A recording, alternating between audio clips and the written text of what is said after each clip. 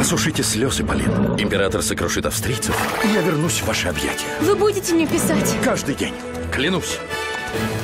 Да этот ловелас и думать, а не забыл, едва выехал за ворота. Просто бабник.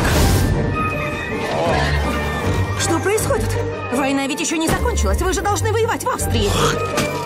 Полин замужем, у нее двое детей, а вас давно похоронили с оркестром и почестями. Я должен ее утешить. Нет, нет, нет! Вы не писали ей ни строчки. Она была в тоске. И я сочиняла ей письма от вашего имени, а в последнем я от вас избавилась. Избавилась? Ну, не переживайте. Вы умерли героем. Думаю, не стоит разрушать такую легенду. Посмотрим. Он вернулся. Капитан Невиль.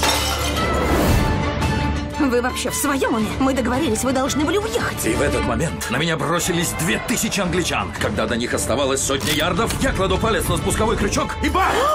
Врывается наша кавалерия. И это все? Ну, просто герой. Соглашусь, но таков мой путь, и не я его выбирал. Тебя разоблачат за пару дней. Я рубил их в ботву, в капусту, в фарш, в труху всех. Элизабет, я пойду на дно только вместе с вами. Я так устала. Пойду прилягу наверх, в крайней комнате. Полин!